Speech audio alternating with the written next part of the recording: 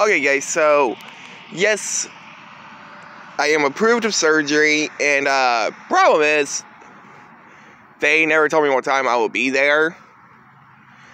But uh, I'm probably thinking it's gonna be morning hours. I mean, the surgery is only in like two weeks. And yes, I am wearing shorts again, so yeah. But um,